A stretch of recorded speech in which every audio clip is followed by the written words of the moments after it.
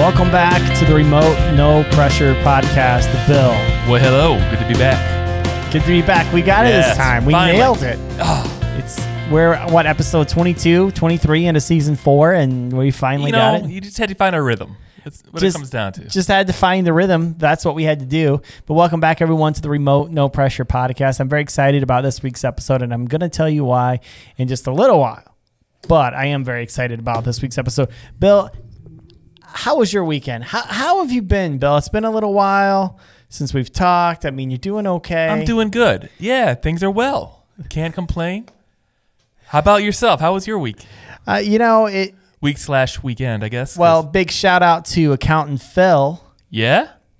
He had the baby. Oh, congratulations, Well, Phil. he didn't physically have the baby, but his wife. had the oh, I'm less impressed. yeah. I watched Twins and um, starring Arnold Arnold Schwarzenegger. And, you know. and when the little guy, what was Yeah, that Danny movie? DeVito. Danny DeVito. That was some classic, dude.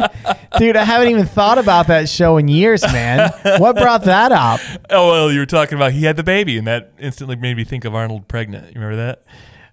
What? No, I don't remember the movie. I remember the the cover I'm of sorry. the movie.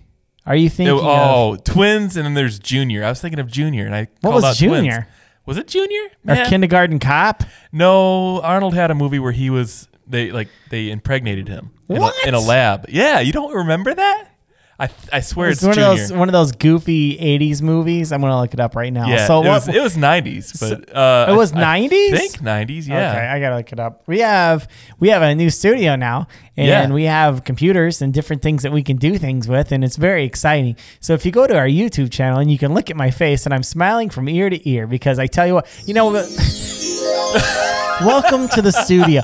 No, but Bill, in all seriousness, though, in all seriousness, I love you, but I don't like sitting right up next to you all the time. It's Oh. just not a lot of room. I took a shower most times. Most of the time, with them, it wasn't the times you did; it's the times that you didn't. Oh. I'm just kidding. Let's see. All right, I'm done with Okay, this. okay, okay, okay. Let's see. Junior. This it was the movie. Junior, called? yeah. Oh, Junior. I think. I think it was Junior. You're right. 1994. it, it was Danny DeVito in that movie. With him. Yeah. It was. Uh, What what other movies did they do together? They did this That one. They twins. did twins. Yeah. Oh my gosh, Arnold looks so s- you know, He so was young. then. He was that was before he was the governor. Oh, now he looks rough. Dude. Yeah, he does. He He- he, he let himself go. Stopped lifting the weights. Oh my gosh, dude. Yeah, he's looking rough. But hey, I mean, he's probably still in better shape. Oh yeah, he could probably still take us. I'm sorry, Arnold. We're just I- kidding. I know Arnold listens to this to this. Uh, he commented uh, a couple episodes back. yeah, if you guys want to go to our YouTube channel, but you can only see his comment if you subscribe. it will magically we should be at 200 by now.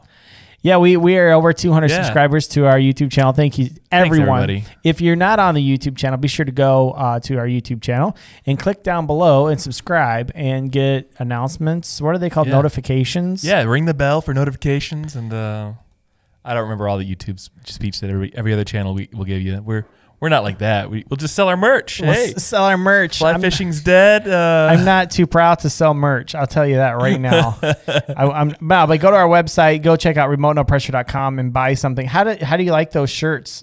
man, Bill? they're comfortable.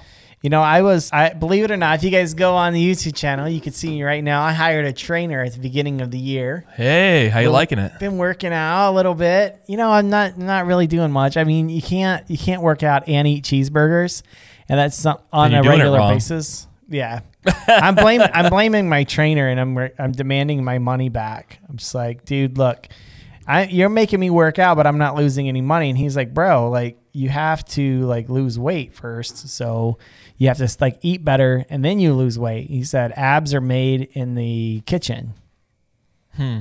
not I in the gym. know. I don't know. I said, "Look, bro, I want all my no. I'm I'm totally kidding. I'm I'm not. I'm not not telling the truth. You're not. What part were you lying about? All of it.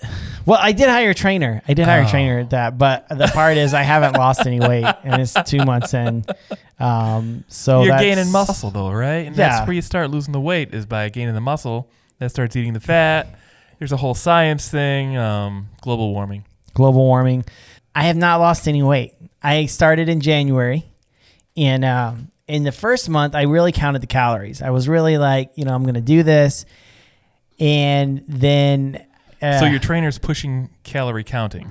that's a big thing with him, calorie counting. So is my doctor. Really? Now you're not a big calorie counter guy. and I mean, you lost counter, uh, yeah. you lost 100 pounds. I mean, if you want to lose weight, how many carbs a day should you? if you really want to lose weight, like um, Let's just say I just 20 or less. let's just say I just want to go really slow. Yeah, if you hit like 40 or 50 carbs a day, that's not a lot still, but I mean, like that's pretty generous in the the keto community. what what is like what is a candy bar? Like let's just say I eat one like a, Snickers like a bar. No, I'm kidding. I don't. Like one Snickers bar is how many? Oh, I I'm couldn't a Snickers without fan. looking at the back of it, but like, but like our, our sponsor, that was only like what 12 or 18 carbs per 16, beer. yeah. 16. Yeah, that's not bad Hold for on, a I got beer. I got a can right here. Do you If remember? Uh, was it? Uh, This is this is their um their golden ale or upside dawn athletic brewings and it's mhm. actually really Yeah, good. It was. Yeah. Well, I mean, it still is. I drank mine already. That's why it was. yeah, it's got 50 calories and 11 carbs. Yeah, 11 carbs is nothing. You remember Michelob Ultra? Yeah. That was supposed to be like a low carb beer, and that was like, I want to say 12 or 15 also. What is that? What is a like a normal IPA like 200? ca- Oh my gosh, I couldn't tell you. Like back when I was a, hep- a drinker and like I wasn't carb counting and I was you know 100 pounds heavier, I would, but I was drinking like four to eight beers a night, you know, Okay. on the job, and uh, when I was working at the brewery, How did you function with 4 to 8 beers a night? it Like- was eight hours, you know. yeah. You can, I'd spread out like um, three to four on the shift, and then I drank the other four after my shift. You just sit at the bar and you just Hanging sit out. hanging out, drinking some beers. Dude, I'm telling you, there's been times when I've gotten on the horn with a with a guest or something, and I've had like a glass of wine or I've had a beer, like especially like one of the heavier IPAs, and I will I can tell my my speech when I'm going Yeah. back to edit that I'm I'm slower. Yep. Yep. I watched people I worked with who would um they'd be drinking with me. They'd keep in, be keeping up, and I was I was heavier, so I could metabolize it a little bit better. Uh-huh. And I'd watch their performance go down while keeping up with me. You know, Right. and or if I went after I got my my DUI and I couldn't drink and I stayed working there for another month. Mm-hmm. I remember um the end of the night like. They're just all sitting around chit chatting. I'm like, man, I want to get these cables wrapped and get out of here Uh huh. the band is gone and like everybody else disappears. Like, that's why I'd be there till four in the morning sometimes, man. oh my gosh yeah yeah i'm just i'm a lightweight bro when it comes down to it but but yeah so i like i we mansplained pregnancy a little bit last Yeah. last um the last episode That's right. um we talked about shayna phil's or well shayna's shayna is phil's wife so i think it's okay to use her name she's an amazing woman We can beep it if not. I we mean, can we can beep it, but she's really she's a really sweet human being. I've known her for a long time. She had a baby, and she said that she she wanted to try the athletic brewing because she's pregnant. And she loves the taste of an IPA. Mhm. Then I ran into uh, I was at a trade show last weekend, uh, and I ran into someone, and and I they have it's another brewing company, and the lady was pregnant, and she said, "Yeah, all I drink is athletic brewing right now because." I'm pregnant and I can't be, and I love beer with pizza and stuff like Yep. that. So, That's awesome. yeah, but you know what? Beer lovers know the names. You ready for this one? I'm not talking about your local spaceship fruity IPA. I'm talking about the names. In this competitive beer landscape, two hearted drunken monks, Pliny elders, and grapefruit space time machines agree that there's a new name in town.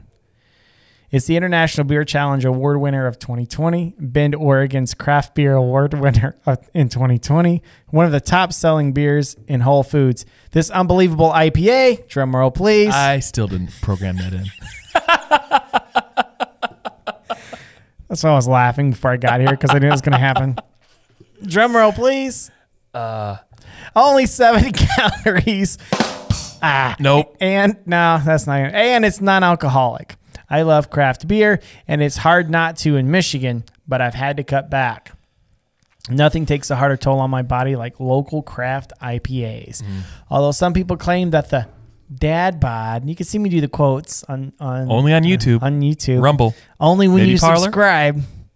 Uh, you'll only see the quotes when you subscribe. uh, although some people claim that the dad bod is so hot right now, well, I just don't believe them. Athletic Brewing's Run Wild IPA is a non alcoholic, fully brewed, not diluted, non alcoholic, low calorie award winning IPA. Have this beer or any of their brews shipped directly to your doorstep and save 20% with your discount code Beer Money 20. All with one word beer money 20. Have this beer or any of their brew shipped directly to your doorstep and save 20% with the discount code beer money 20. Beer money twenty. Unless you're in Michigan. Then it doesn't work. Sorry, Michigan. can't. I'm sorry. You know what? I'm sorry. I can't I can't handle the transaction either. I can't do that. What transaction? Like if if they wanted 20% off, they could just email me and say I bought it with their receipt or something, but I can't do that. If you're in Michigan, you're just SOL. Sorry, guys. But Whole Foods coming to Grand Rapids. Whole Foods right? is coming to Grand Rapids, Or you know. Harvest Health here in Mich- Grand Rapids. Yeah, and this is actually one of the most popular beers in Whole Foods. So go check out Athletic. Are they Brewing. in like our local grocery stores yet? Like Meijer? I don't know. I know they're in Harvest Health, but uh, Mm-hmm. that's where I got this. But I'm not sure if they're in our, our local Meijer yet or Let's not. check that out. Yeah, it's pretty good, especially like the flavor. Like I like the IPA, but you know I don't. It tastes like a real beer. It doesn't taste like the near beer. You know, the O'Doul's. Yeah, you know what happened to me, and we had this conversation before we got on the air. But um, you know, I I deal. I, I was I broke. You okay? Yeah. You I thought I wasn't recording. oh no, I looked down. I'm like, oh, oh, we're good. It's too much equipment. Too much equipment now. No, but we talked a little bit before we got on the air, and I told you I deal with chronic pain. It's something I deal with because of um, I was in a very bad car accident as a child, and I broke my hip. Had a hip replacement, contracted a staph infection, almost died. Had like four different hip replacements in the matter of six months. Whatever, blah blah blah. Well, I walk really funny. I'm not 22 anymore, so I deal with chronic pain. Well, I haven't really had a whole lot of pain, but then I started drinking some local IPAs this past weekend, hmm. and it's like it caused inflammation in my body because I'm, I'm like right now I'm in a lot of pain, and I haven't felt this way in a while. So That's good that you're self aware though too. A lot of people just don't know. You know, I'm in pain. But I don't know why. I'm just gonna pop ibuprofen. right, So you're finding out why. That's a good thing. right, or opioids or something Yep. like that. I've Yep. never been a pain pill fan. I, you know, whatever. Only when I'm on them. Yeah, even then, I you know I remember you know just sitting there. My dad, I was like I was like 22, 23 years old. I'm sitting there Yeah. in my dad's living room, and I haven't been outside in forever. And I've been on these opioids, and he's like, "Do you want to go like get a hamburger? Just get out of the house." I was like, "No, I'm good." And then I was like, "I should really want to go out Yeah. outside, you know. But anyways, I digress. Uh, in the meantime, in other news,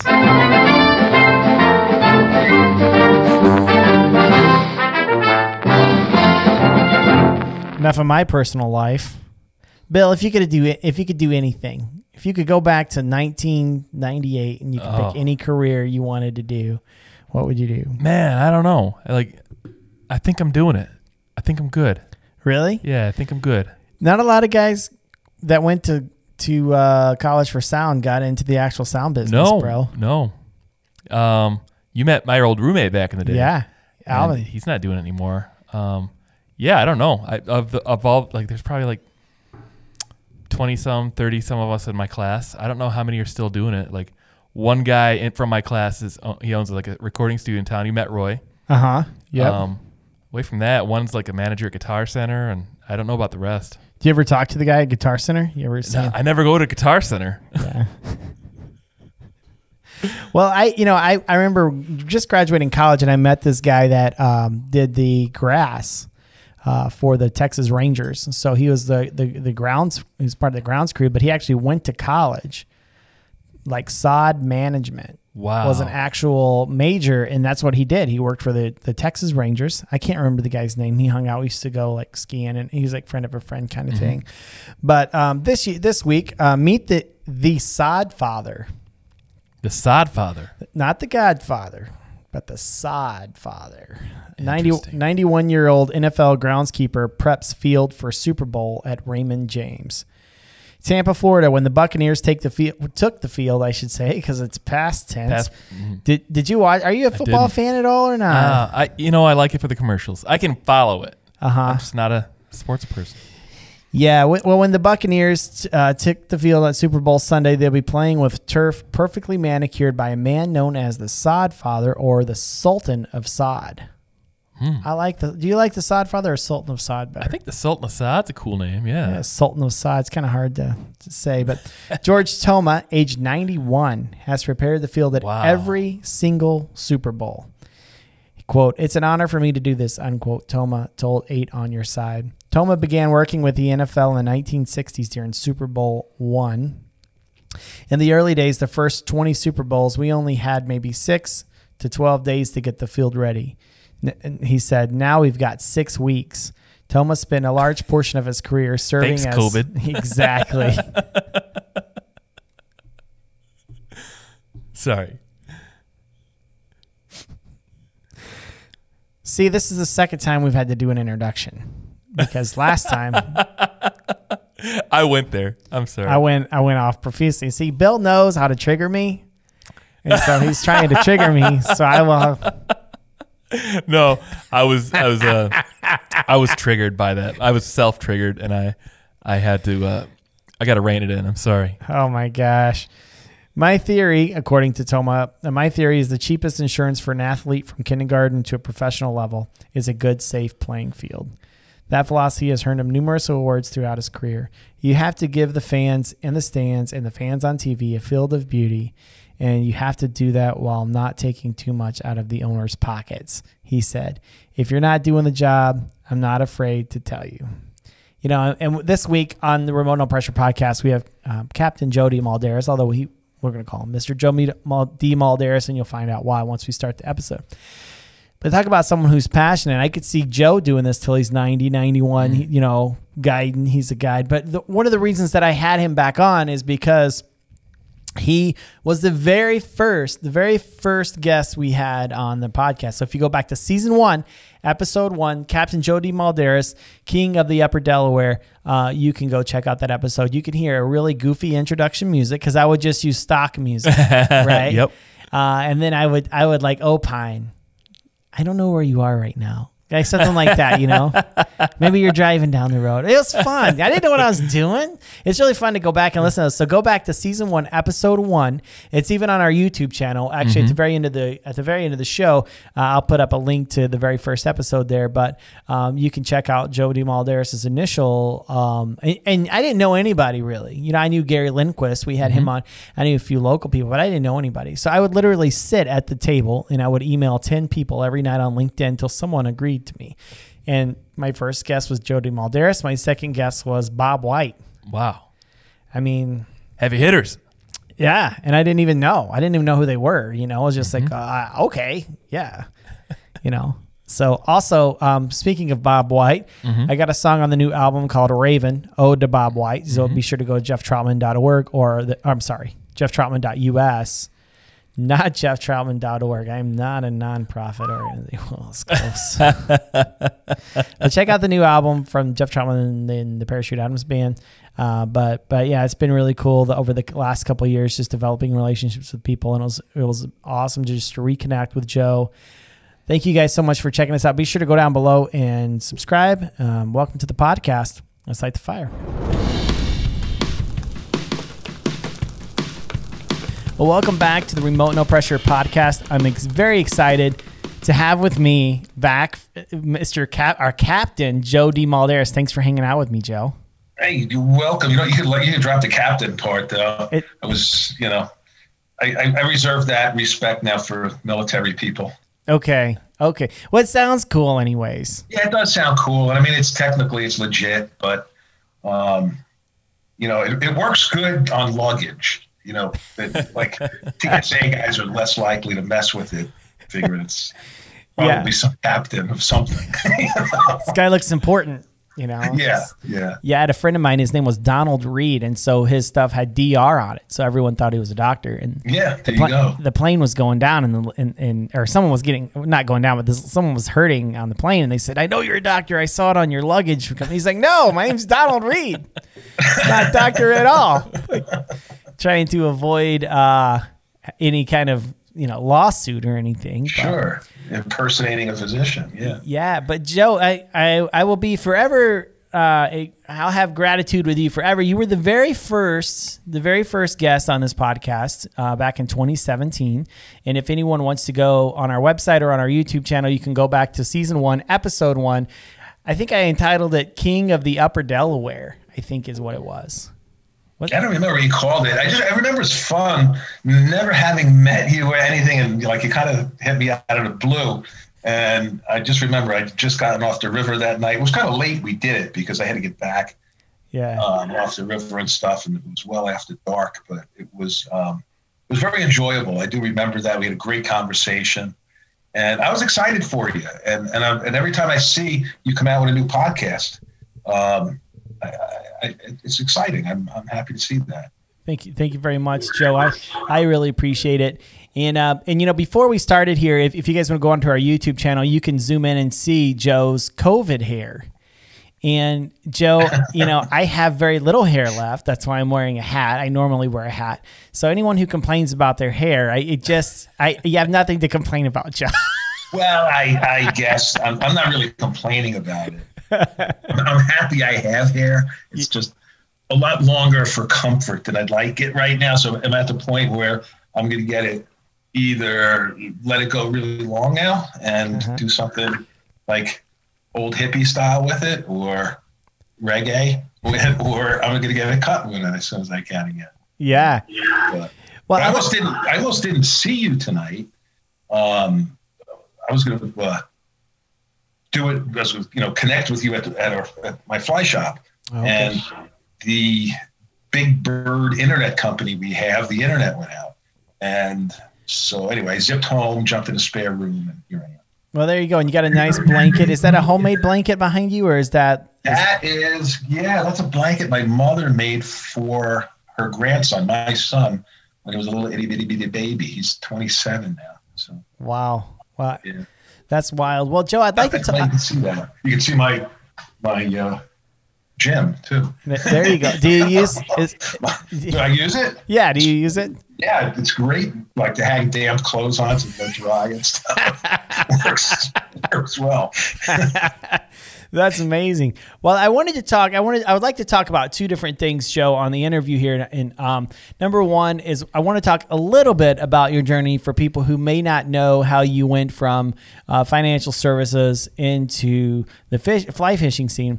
And then I also would like to talk to you a little bit about 2020 uh, and your fly shop. So, can you tell us a little bit about why you? I mean, you, if I remember correctly, you kind of left everything and came home and said, "I'm I'm going to go fishing," right? And you told your wife. Yeah, for, yeah, pretty much. I mean, it was something I always wanted to do, and finally just got um, the guts to do it. Maybe and, and a little bit settled, you know, a little financially able to do it at the time too. But you know, a few things came together that allowed me to take the risk. Number one, being a, a very supportive wife who just wanted me to do what I wanted to do, you know, and so she was all for, you know, taking the plunge. And and I was still young enough. I was old enough to know better, but young enough that, you know, if it didn't work, it wouldn't have been the end of the world, you know. And right now it probably would have been like a lot more financially better off. but, but that's that's not, you know, what it's about. But um it it you know, so everything just kind of came together. The timing was right and um just did it. So never never had a regret once. So that's great. Yeah, it's it's yeah, that's great. I you know the, it's easy to look back and say could have been this, could have been that, if you know like you had mentioned financially this or that. But it's all a journey. No matter what you're doing, it sure. seems like there's no guarantees in life. No, and, you know. No. And, you know what? If you work, every anything will work. You know, the key is you got to work. You got to do it. You got to be passionate about it. Mm-hmm. Um, it's got to be something that's really tugging at you so my piece of advice my father had given me, um, probably right after college, I guess I got out of college and um, had one job, took another job, then took another job. And I remember my father telling me when I was in in between decisions to make, he said, just never put yourself in a position to say what if. Mm-hmm. Just go do it. You don't want to look back, you know, when you're 50, 60, 70 years old and say, hey, what if I did that? Just do it. You'll know. you know? and, so sure. that that was uh, some you know something I've always done ever since. And you make a decision, you stick with it. You're happy doing what you're doing. Um, I mean, the rest of it's small stuff, really. Yeah. It's you know, I mean, you know that. I mean, look what you're doing. So Yeah. you know, Yeah, it's a lot of work. It's a lot of, you know, um, t- times, you know, it's sacrifice. You have to, like you said, I, I think it's 90%. I read a quote saying 90% of success is just showing up, you know, just being well, there. big big part of it is that, and, and big part of it's not being afraid to make a decision. You know, not making a decision is a decision, and it's the wrong decision. Otherwise, there's no wrong decision. You know, Mhm. Just just do it. Just go. And as long as you know, the passion is huge. I mean, you know, when when I hire people to work for me, they there's one thing. The number one thing I look at isn't talent, isn't skill, it's passion. You Mhm. can teach the rest. Can't teach passion. Either it's either in you, or it's not. You Yeah. know, so that's the the number one driving force I find in in just about anything. You know, uh, whether it's you know gathering a whole bunch of parachute mayfly patterns together to play music or you know whatever else it is you know so you know you wouldn't do that if you weren't passionate about it Right.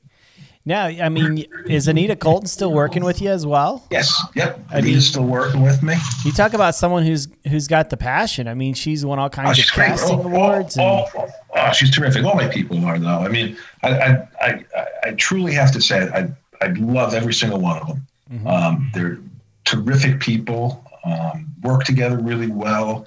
You know, there's, you know, there's been a few along the way that are no longer around. You know, thank, you know, things happen. But, um, you know, I got ten people there now. I guess it is, and, and everybody's terrific. Just, just terrific and and I'm really picky. I kind of run a different um, hiring process, perhaps, than you probably see anywhere else. Maybe maybe it is other places, but you know, we're small. We work together. Um, it's it's an intimate work environment, and I don't bring someone in now unless everyone is in favor of that person. oh wow. So it's everyone's got to like that person. And no one has to tell me why they don't like him. They just oh, that guy's a jerk. Good. That's fine. You know, what I, I don't need your your reason because I I just know everyone who's you know who's uh, on the team well enough that I know they're just not going to make stuff up. They're not like that. Right. So um, they don't feel they don't feel threatened by someone else. You know, everybody everybody feeds together. We all understand that. You know. Yeah. There's no, you know, I tell these guys all the time, um, we don't have a star quarterback. They all tell me, oh yeah, you know, you're no, I'm not. Know? and we don't have that guy. You know, everyone uh, has their own thing they exceed at very well, and Uh-huh. everyone, you know, we all feed off each other, learn from each other. That's So, amazing. yeah.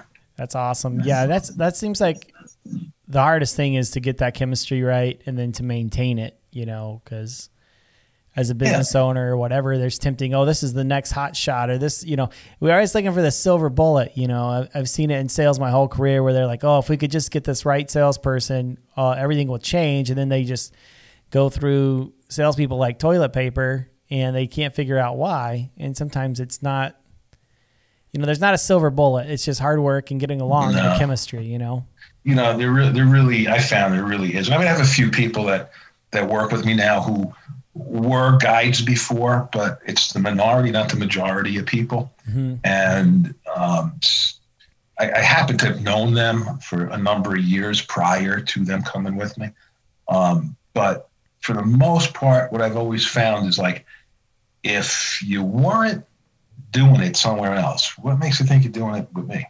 Right. You know, if you weren't, if you weren't happy doing what you're doing someplace else, um, unless it was something like really odd there, you know, why are you gonna be happy here? You know, you're probably the least happy here. You know, Right. So I don't, you know, we're not as structured maybe as other places. You know, a little, a little more maybe I don't know, democratic. Maybe I don't know.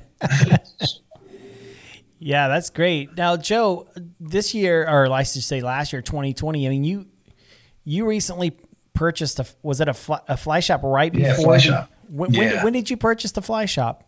so it's it's kind of a um, I, I so a friend of mine uh, um, actually built this fly shop close to almost 30 years ago. Maybe it is 30 years now. Wow. But anyway, he built his fly shop. Unfortunately, he passed away in his 50s very suddenly, and the place ended up disappearing. And I, I used to work my business out of his fly shop, and then um, it turned into a deli, a garden center, a nursery, or something like that. And then someone bought it and turned it into a house. And then another friend of mine bought it and he wanted to turn it back into a fly shop. And he's about 10 years, 12 years younger than me. And he bought this and he had another bigger general store, sport shop in, in another another area. So he had experience at it and he had another real job on top of it. Right. So anyway, he he gets this fly shop. I move in with him. Uh, it's a, a great, you know, kind of a going steady together. And so I'm running the outfitting business there. He's got his retail store going. Everything's great. That's how I wanted to keep it. Then he gets this giant promotion at his real job. And all of a sudden, this became a big thorn in his side. Mm. He's like, I can't keep it. There's no way. Three hours away from home. There's no way I can keep the shop going. I got to sell it. Mhm. But he, you know, it's great. We had a great relationship. He didn't want to just sell it to anyone that I wouldn't be able to work with and stay there. So anyway, he finds a guy interested in buying it. Um, everything's going along. All of a sudden, at the last minute, the whole deal falls through. I- Basically, I couldn't get financing. I guess is what happened. The whole deal falls through. He's just going to close the place because he can't. There's no way he can do it. You know, he'll, he'll kill himself trying to keep it going. Yeah. So he's just going to close it. And I'm like, uh, maybe I'll buy it. so, so um, I knew what he was selling it for to the other guy, you know, and I was like, hey, make this, you know, same deal we're in. And so that's what we did. And I ended up buying it. Um, and then COVID shows up, you know, so it's like, wow, the timing couldn't have been worse. Yeah. No, but but it worked. You know, it worked out. It wasn't. You know, like it's, nothing's easy, but you know, you, you don't give up. You don't throw the towel in. Yeah. You know, there's there's always some something in life happens. You know, if it wasn't COVID, it could have been a flood that year. It could have been locusts. You know, it could have been whatever. You know, there's always something happens. The stock market could have crashed, whatever. But um, you know, so you just push on, you move on, you do best you can, and you know, it's working. I, you know, found an awesome guy to, to run the shop for me. You know, I don't really get involved in the. I get involved in the day to day of it. I don't get involved in the, the ordering really, and that sort of stuff. You know, I mean, I kind of put the stamp on it at the end because I do sign the checks, but I don't. Um, I don't get involved in like the, the nitty gritty of it. You know, I like the fun part of it. I don't like. You know, I don't think I've ever, you know, gotten involved in the, the fine details of retail. Let's put it that way. So- Now, now, do you um do you guys sell stuff online or is it mainly just in person? Yeah, so what happened, we, we, there was no online thing set up or anything, right? So COVID hit, state of Pen- we're in Pennsylvania, state of Pennsylvania won't even let us sell curbside. We can't even like take orders and leave it on the front porch, Wow. right? So it's like, we got to get some online thing up in a hurry. So we did. It was kind of hokey, um, but it generated some income and, you know, we still got it going. It's, it's, it's uh, right. It's a work in progress. So uh, we got I got a few things in the technology side that are going on right now as far as redoing websites, redoing shopping, online shopping, and stuff like that. So in, uh, in about a month at the most, it should be all done. Probably more like two weeks, but I'll be happy. You know, supposed to be two weeks. I'll be I'll be I'm fine if it's a month. You know, you know how that stuff goes. It's never. you know? So it'll be it'll be good. So. That's But great. I'm not really looking at the online. I mean, I like fly shops, right? I don't like online shopping. I don't seldom, so very seldom do I buy something online. And that would only be if I, I had to drive more than like two hours to go get it myself. Um, I'm just like, I don't know. I, I like personal service. I like seeing stuff. I like going into whether it's a hardware store, or a fly shop, or a you know a gun shop, hunting shop, you know, whatever. I, I like going in those places, and um, and I and I think most people actually do too. They enjoy the experience, you know, not just wanting to go online all the time. Yeah, for sure. Yeah. Um, what if you don't mind sharing? What what is the web address where people could find your shop if they're in the area or if they want to? Sure, it's, it's whitetailflyshop.com. Okay, and we'll put the um, the link there in the show notes so people can check that out.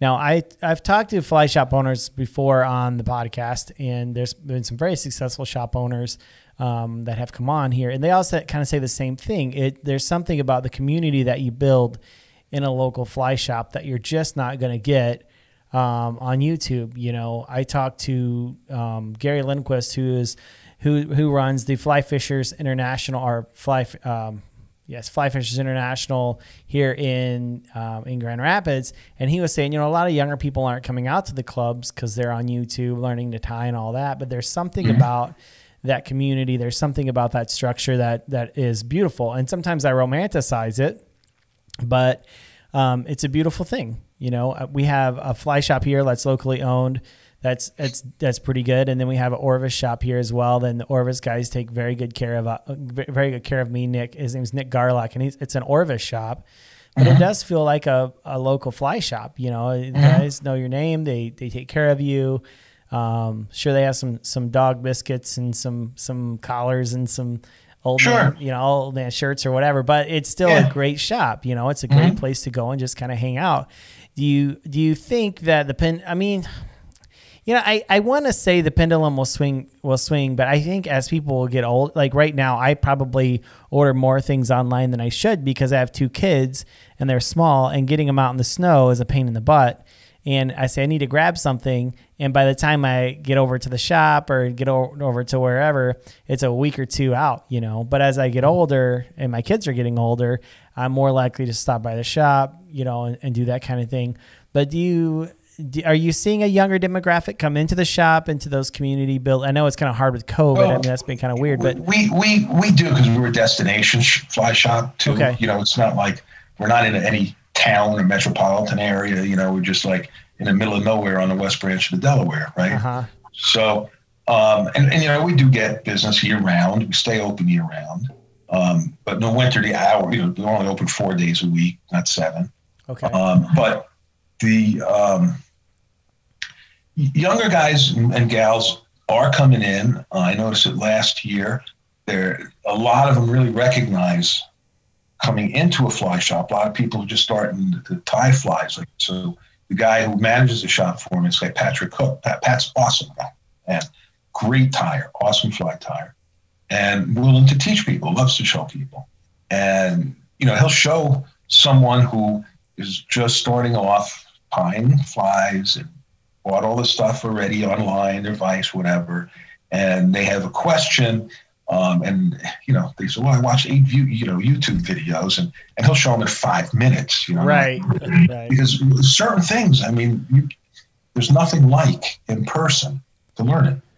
I mean, you, you can't, you know, uh, like if you never cast a fly rod, pick up. I don't care who wrote the book. Pick up a book on how to cast you ain't gonna do nothing. Right. Right. right. You know, like you know, you'd probably be worse off than if, you know, before. Now if you already have cast casted and stuff and you understand the dynamics and the, and the physics behind everything and you read a book, it could help you. Mm-hmm. But if you never did it before, you're brand new and you think you learn how to cast from reading a book, it's not gonna happen. Videos, maybe some videos. Um, still nothing like one on one right there teaching you. You know, like you teach someone how to double haul in 10 minutes mm-hmm. uh, or less. Uh, no one learns how to do it watching a video or reading a book in 10 minutes. You know, it's, right. it's, it's, it just doesn't, it just doesn't lend itself to that. You know, it almost, you know, it's like anything though. It'd be like learning how to play golf just by reading a book. Yeah. You know, it doesn't, it's, it doesn't work that way. So that, that I think, you know, like you said, the pendulum, yeah, maybe it's going to swing back I think there was a time, and I've been in these shops, and maybe you have too. Um, there were a lot of fly shops over the years, like any boutique or specialty business, where the people in the business were in it for the wrong reason. Mhm. You know, they were in it to escape from something. They weren't in it to serve the public. you know, they just wanted to hide in the back. They, they weren't interested in someone who was new. They didn't want to spend the time, you know. So they kind of pushed those out of there. They just wanted their buds, their regulars, whatever, you know. Mhm. Um, and and that's hap- that happens with guides too. You see the same thing, um, where you know people aren't um, they're not embracing that part of our industry, you know. And and like in anything, there are more people who never did something than that have done something, you know. So whatever it is, you know, those those people are going to want to try it out. And we did see this huge influx, you know, because of COVID Right. people wanting to go outside.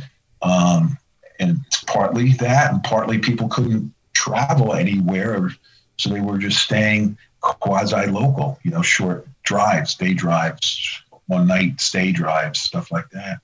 So did see a lot of that, um, you know, happen, you know, because where we are, we're two and a half hours from New York City. A lot of people, you know, were escaping that. And you know, if you had an Airbnb, you really raked it in last year. And it would, you know, people are working from home, so all you need is an internet connection, and they were good, you know. So here you were, Yep. you know, spending time in the country, working from home, but now the kids wanted to do stuff, and the kids couldn't play games on the internet because even though they had an internet connection, it's not like you know In New York super speed, you know. Yeah, yeah. And it's, it's dial up or a little bit better than dial up actually, but that's about it, you know. So they couldn't have their kids slowing down their internets, and so now what the kids would do? Let's take them fishing, you know. Yep. Yeah, it's good. Yeah, that was that was a big. Uh, I think it was an article. I think my friend Aaron sent over to me that was talking about the the influx of people and, and the revenue. And I think Kurt Deeter over at T may have wrote a piece. Oh yeah, Kurt. Kirk nailed it. Yeah, Kirk nailed it in that one article he wrote. Uh, yeah. It was, it was like, and I, I- you know, I hope it stays. You know, I hope that we do see. That's like, but yeah, that was a great article that he wrote on that. We'll put a link to that there in the show notes. But um, but yeah, it was kind of weird because you know I have a, a little creek that I go to that's that goes off the Grand. You know, it's in the it's um, off the Grand River here in Grand Rapids, and you know it's kind of a locals only place, and and a lot of people don't know about it, and you know, we're all stuck inside. I'm like, screw it, I'm going to go fishing. And I go out there and there's like three or four people like bouncing around in my creek, you know? and I say creek, I mean creek. It- it- you Yeah, know, I'll, yeah. I'll, I'll hook a steelhead or, you know, some nice trout out of there because, you know, it, it's part of that, that whole, the whole Grand River thing. But, um, but it's kind of like my place. And it's, I asked the guy, I was like, hey, what, you know, hey, uh, you know, I was really nice. I'm not going to be a jerk about it because, you know, again, it's his river too. So I was like, him and you know his posse was there, and I said, "What are you, what are you doing? You know, how did you find this place?" Acted really ignorant. You know, he's like, "Oh, I was, I was uh, studying the Grand River. He's from the east side of the state, from from Detroit. He's a dentist from Detroit. Real nice guy." And he's like, "Yeah, I just saw this was connected. I thought there might be some fish in it." And I was like, "Nah, there's never. I've been fishing this a long time. There's just not a lot of fish." That's my little gym, you know. But I think we all saw we all saw that influx. Of, you know, people could fish Monday through Monday. It wasn't just like Mhm. only on the weekends. Oh yeah, no, I was uh, last April and, and May. I couldn't, I wasn't guiding, couldn't be, you know, working. So I was, I was doing a lot of blue line fishing. You know, right, right close to my house, like places I could walk to. And a few of them I would have to drive like three miles or so. But um, you never saw anybody up these roads ever, ever, ever, ever. All of a sudden, there are people. I was, I was like parking a half a mile away from where I wanted to walk in, so people wouldn't think, "Oh, this must be a spot," you know. And the uh, odd thing was twice I'd park in an air, you know, half a mile away from where I was going to cut in through the woods to get to this little stream I knew, and I come back and there'd be a car parked right behind me, off the side of these, you know, little Forest Service road, and I'm thinking. This guy must just be wandering around the woods, wondering like, "What's this guy doing?" Right, right. you know. Yeah. But but it was kind of cool because I got to do some fishing last spring that I hadn't done in years, and that was you know wild brook trout, where a ten inch fish was like a huge trophy and got me all excited. And it was it was great. You know, it was great. I hadn't done that in, in years. Just taking a little three weight, you know, out and poking around and just just having a great time doing it. So um, you know, was, I, was good. I mean, I'm, I'm, I'm totally good social distancing. I mean, it's kind of like, I'm totally fine with it. Yeah, that's great. Now, um, yeah, I got a three weight this year as well. Um, one of Barclay's fiberglass three weight rods, and the problem with it is I never want to put it down. I just I just want to fish with it nonstop. You know, I, I just yeah, same thing with some brookies and some some even some smaller smallmouth bass and rock bass on it. Just felt like absolute giants. It's all good. Absolutely, it's all good. Yeah, right. Um, Bill, you had a um, a new rod, right? Wasn't yeah, I got that? Redding uh, three weight last At like, Redington? two years. Yeah, Redington two years ago, and yeah. same thing. I didn't want to put it down. That's my favorite rod. I hooked that big brown trout on it though. yep, Like as soon as I tried it, I was like, "Holy cow!" it feels so much bigger than it is. oh yeah, yeah. It's just a lot of fun, you know, just something to do and uh, just kind of a new way of fishing for me. But and and I've never really fished glass before, so for me, it was slowed me down quite a bit and was just an amazing experience. Mhm. No, it's it's good. I mean, my well, my first rods were glass, and then the, the little three weight. I have those. I guess would probably bought it in the early early mid '80s. And, uh, you know, real early on graphite rod, so it is pretty slow.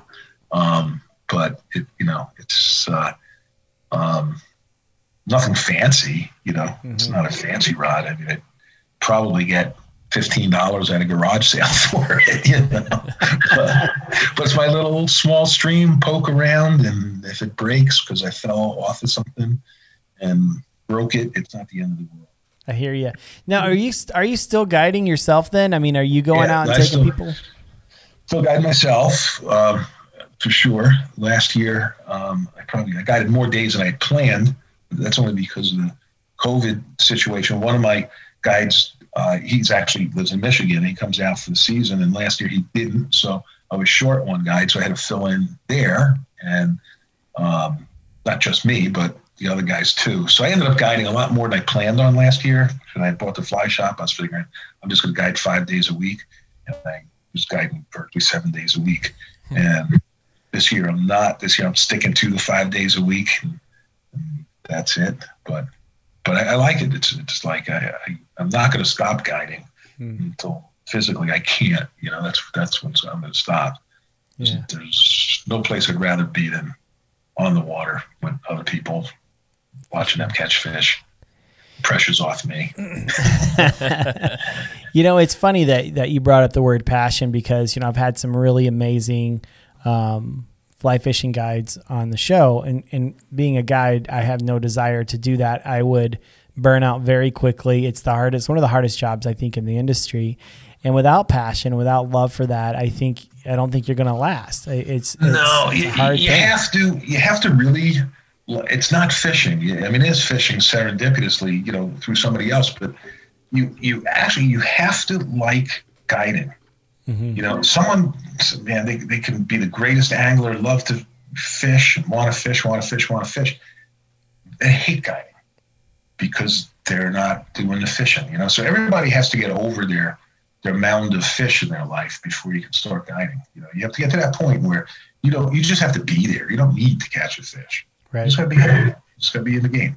And and and that's you get to that point, then guiding is is to me it's like next level in a lot of ways because it's it's a lot harder to help someone else be successful if you just go do it yourself. Mhm. Um, you know, ninety nine percent of the time, you know, you're you're going to be a better angler than the person you're guiding. I mean, I have some great rods that fish with me. Um, just right, I'm not going to say 100% of the time, but I do have some really, really great rods that fish with me. But even then, um, they don't always know where to go, where to be, when to be there, you know, that sort of stuff. So when when it all comes together, um, it's it's really pretty cool. But you have to like that part of it. If you don't Right. like that part of it. You, you're gonna hate guiding. I mean, you're gonna really hate guiding. you know? Yeah, the people that guide like you, you say I'm going to guide till I can't guide anymore. You know, that's that's the same sentiment I get from the successful guides. The people that that I talk to, um, they love it. They love doing that. You know, Dave Mc, Dave McCoy over on the you know over in I think it's Portland area. Um, talking to him, you know, several guides I know down in Texas that are very successful guides, and it's They love it, man. That's what they live for. No, that, that's that's absolutely true. I mean, I do have clients ask me every year as I'm getting older, you know, and, and like, you know, when are you going to retire? And I'm like, I, I retired 30 years ago. I, mean, I, I have nothing to retire from now. So what am I going to do? I'm going to retire and go fishing every day. yeah. So, Yeah, I think I think last time we, we talked, you said you didn't want to wake up to an alarm clock. Um, yeah, I still don't. Never Yeah. set alarms. I mean, I can't say never. Maybe once or twice a year, going on an offshore trip or something. I got leave my house at two in the morning. Set an alarm Yeah. Other than that, you know, that I don't. just you just wake up naturally and ready to you know and excited about it. You know. yeah. Well, Joe, thank you very much for hanging out with me. Um, I will put your put your link down below, but for a lot of people, they're not looking at the show notes. So again, what was your website and where can people It's find white whitetailflyshop.com. Okay, white whitetail White, fly shop. Whitetail like whitetail deer. Like Right. the deer. Whitetailflyshop.com. Great. We'll put the we'll put the show notes, put that in the show notes so people can check that out. They can also book some trips with you guys. Um, King of the Upper Delaware, uh, Mr. Joe Demalderis. They, they, they can find us on flyfishthedelaware.com too. Flyfish the Delaware. Yeah, that's Yeah, the one you had before, I think. Yeah, Um, still have that. It's- yeah. it's- We'll put that up as well too, and, and uh, people can book a trip with you guys, um, or just shoot you a note or buy something there online to help support local fly shops. Uh, this year, we're really we're really pushing for that, supporting our local fly shop, just because of the nature of 2020, the people that were were hit really hard, some of the local shops. So we really appreciate you doing that and being there and being there for the community and building that up, Joe. And and that really is how the next generation of flying anglers is gonna is gonna come along. It's not necessarily gonna be on on YouTube. Uh, it can be, but um, Well, but it's not gonna whatever. it's not gonna be the same. Do appreciate your support. That's that's awesome. Yeah. Thanks for having me. All right. Thanks a lot, Joe. Have a great night. You too. Take care. Well, thank you guys so much for hanging out with us on the Remote No Pressure podcast. Bill, that was a fun episode. It was pretty good. You know, Bill had one talking scene. I did. I was there. interview. I was, uh, yeah. And you can see it, right? I Yeah. don't know. We didn't scrub that I- part of the video. I, I think we can. Maybe not. See, we got all this like equipment now. And I say all this equipment, we downloaded some apps on the yeah. phone. Yeah. Uh, we're still trying to figure everything out. We're, we're going to get it, though. We're getting it, you know? We're getting it, Bill. Hey, listen, I know um, I, this is not a commercial or anything like that, but go to remotenopressure.com. Check out our gear, check out our our merch, our swag, whatever the kids are calling them these days. Uh, but we have t shirts, we have mugs. Did you hear the mug? Your beer's colder, your coffee's hotter. All of our products, Perfectly temperatured water right there.